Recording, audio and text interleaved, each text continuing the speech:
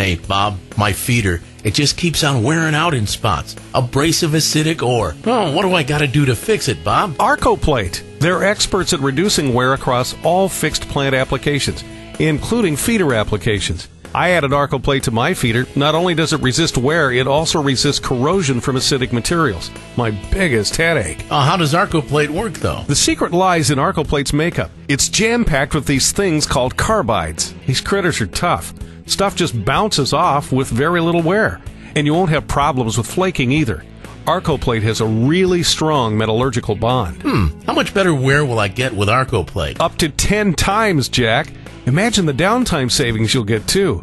You're on a production bonus, aren't you? Sounds great. Leave it to ArcoPlate. ArcoPlate has been doing this for over 20 years. Pan feeders, apron feeders, whatever your situation, ArcoPlate will have you covered.